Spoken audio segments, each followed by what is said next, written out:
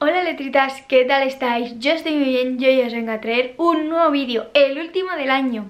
Pero antes de comentar, como siempre, os quiero decir que me podéis encontrar por mis redes sociales, en especial por Instagram, y que todos los domingos os envío una newsletter nueva, así que si todavía no estás apuntado para que te llegue, te dejo en la cajita de información cómo hacerlo. Y ahora sí que sí, vamos con el último vídeo del año, uno de mis vídeos favoritos, que es el de mejores lecturas.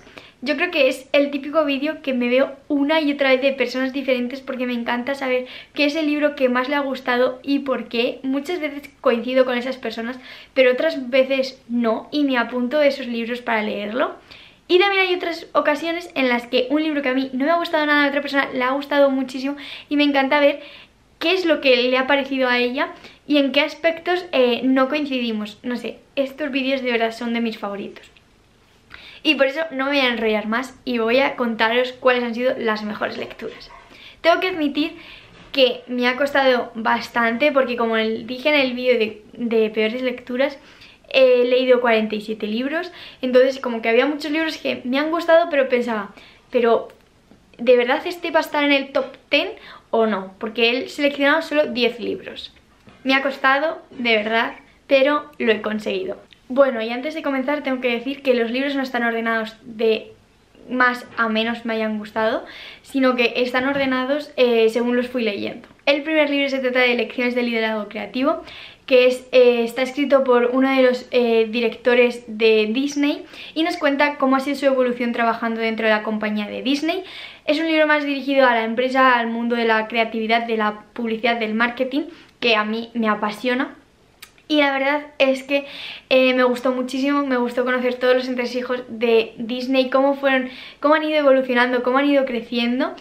Y no sé, me pareció un libro increíble y súper recomendado si os gusta pues todo este tema del emprendimiento, de la empresa.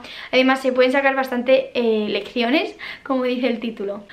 Otro de los libros que me gustó muchísimo fue Libera tu magia de Elizabeth Gilbert, que tampoco es un libro como tal de, con una historia de narrativa, sino que nos va contando cómo la escritora eh, ha ido empezando en el mundo de la escritura, cómo vive ahora mismo de ello. Habla muchísimo de muchísimos temas eh, relacionados con el arte en general, o sea, está orientado a la escritura, pero lo podríamos extrapolar hacia el mundo de la música, de la pintura, etcétera. Creo que la escritora da muchísimos consejos, eh, te hace reflexionar de muchos temas. Puedes estar de acuerdo en algunos, en otros no, como era mi caso, pero me gustó muchísimo conocer su perspectiva y eh, también te habla de, cómo, de lo que supuso para ella el éxito de Come, Ama y Reza.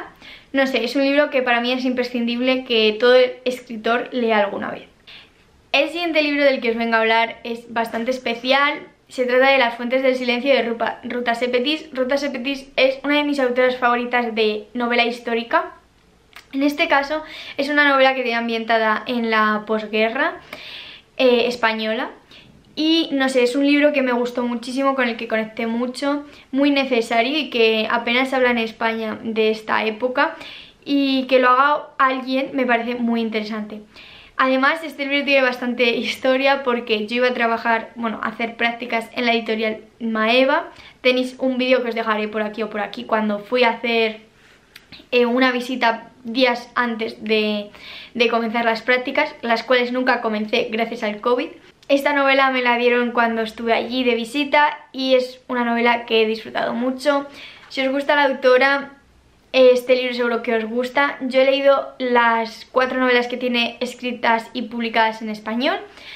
Solo la única que no me gustó fue la que no estaba basada en hechos reales y las otras tres me gustaron muchísimo y os las recomiendo totalmente. Entre tonos de gris, fascinante y Lágrimas en el mar también me pareció una lectura increíble.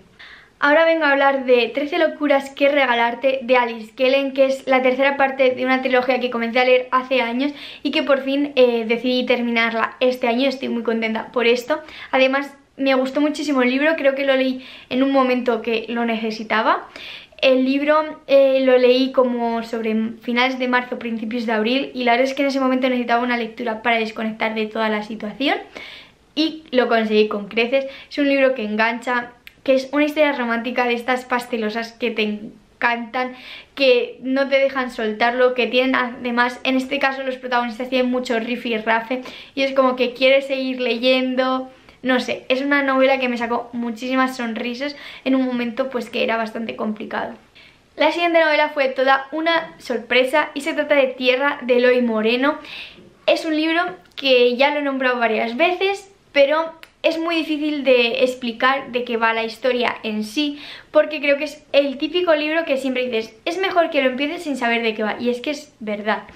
Puedo decir que hace muchísima crítica a la sociedad, que se cuentan dos historias paralelas, y que el final es súper sorprendente. Los capítulos son muy cortos, tienen unos finales muy abiertos y quieres seguir leyendo.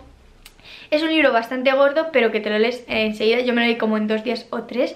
Y lo estoy recomendando a todo el mundo porque de verdad es increíble. Ahora paso a hablar del último libro de Alice Kellen, de Las alas de Sophie que lo publicó en septiembre, yo me lo compré en ese mismo mes y lo devoré. Tenéis una reseña del canal mucho más detallada, que os dejaré por aquí o por aquí.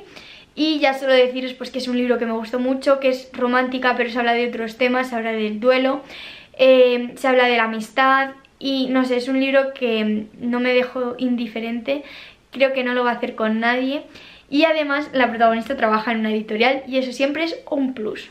Otro libro del que os vengo a hablar y que también tenéis reseña en el canal, que os lo dejaré por aquí arriba, es Ayer Nosotros Hoy de Carolina Casado.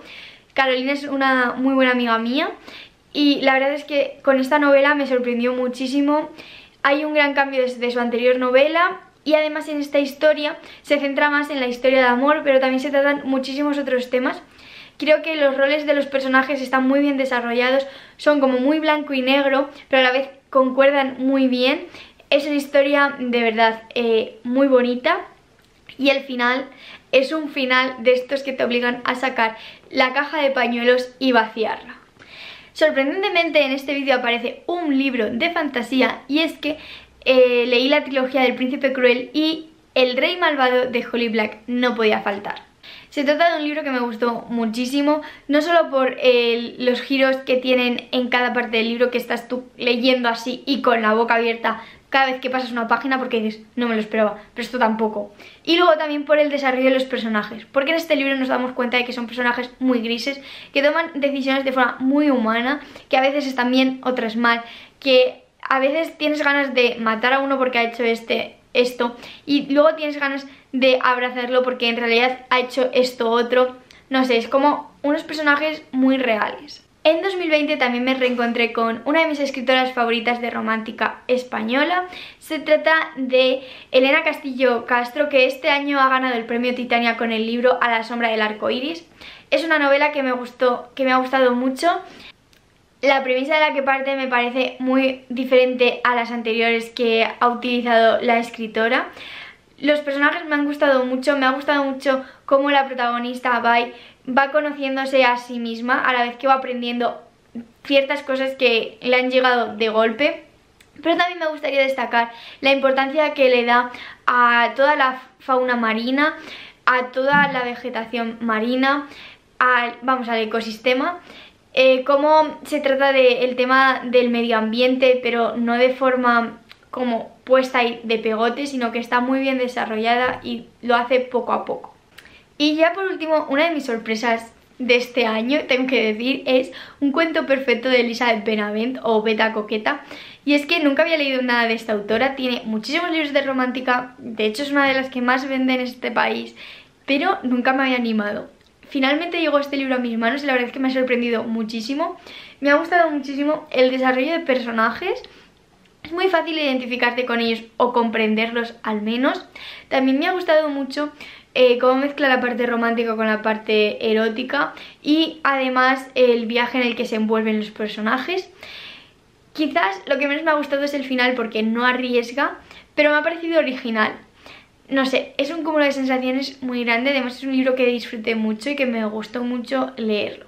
Además eh, he decidido leer más cosas de la, de la autora. Y para empezar ya me he hecho con la saga Valeria que vi la serie en Netflix, pero la verdad es que me dejó un poco indiferente, pero es que de verdad el libro me ha sorprendido mucho porque además la escritora tiene una forma de escribir como muy personal y diferente, es decir, hay algunas personas que al escribir le dan su toque, de tal forma que cuando coges un libro sin ver si es de ella o no, sabes si es de ella, nada más leer un par de frases. Y eso me parece que es lo que sucede con Beta Coqueta. Y bueno, hasta aquí el vídeo de hoy, espero que os haya gustado, desearos unas felices fiestas y que tengáis una buena entrada de año, esperemos que sea mejor que 2020.